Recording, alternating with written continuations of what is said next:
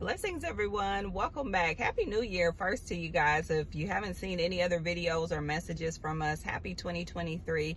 Praise God for this new year. Last year, the word of the Lord for 2022 was God will see you through the year 2022. And praise God, he really, really, really did that. Like, I mean, just speaking personally, we had moments as a family and as a ministry where we were like, oh Lord, what's going on? But God was faithful. And so we praise God for just seeing us through last last year. We praise God for this new year and everything that he's doing, everything that he has planned for you. There are several messages and videos that are coming up on the birthing room, as well as just right here, prophetic words. So make sure that you're subscribed with your notification bell turned on all. That's just hit the little bell and then hit all notifications so that you'll uh, make sure that you get those notifications when we upload as well as when we live stream. So praise God again, just for all of you, everything everything that he's doing and for everything that you are position, positioning yourself to receive as well. Okay, so today the Lord is talking about higher heights and bigger cups, new levels and bigger cups.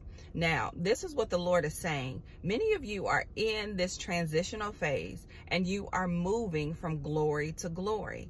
In this place, the Lord is calling you higher. Now, this is what we forget when God talks about expansion or elevation, or he talks about overflow and these bigger cups. So I'll get to that in a second. But when the Lord talks about all of these things, we forget that there is a responsibility that we have on our end to make sure that we're following through with the heart and the mind of God, as well as that we are allowing ourselves to be in position and that we are surrendering to the will of God. Now, this is another piece in here that God was saying that he was speaking to me the other day.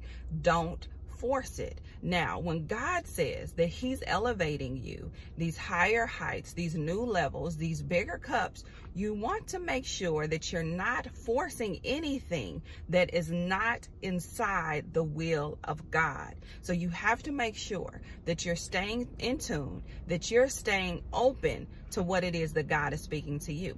Okay, so now when he talks about these bigger cups, that means that there is more that he is pouring into you. There's more that he's pouring into your life.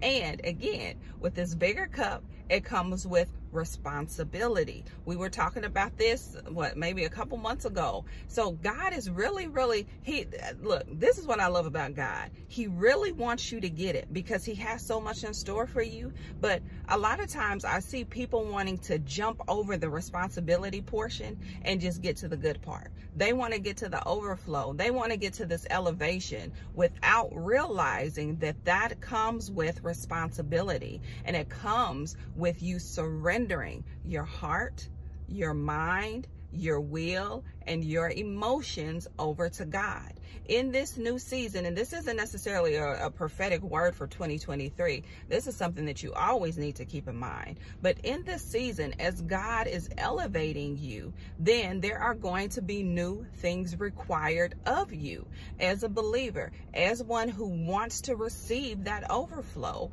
There will be new requirements made. Okay, so you have to make sure that you're following through, that you're staying in the divine flow, that you have a heart heart of obedience, that you have a place of readied obedience as well, that your heart is postured to follow through with the next instruction that God gives you. Make sure that you're not staying in the past. Make sure that you're not staying in a place of, well, I already did this over here, so I don't need to do anything else, or I don't need to do it again. No, you need to make sure that your heart is open to the divine instructions of God so that you can receive everything that he has for you, not just in 2023, but all the days and years of your life.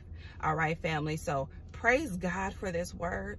Take all of the nuggets that you need so that you can be positioned to walk in everything that God has for you. Just know again that myself and Pastor Jamal, we're praying for you. We're always just affirming the very best over your life. And we're excited for everything that God is doing and that he's showing you in this new season.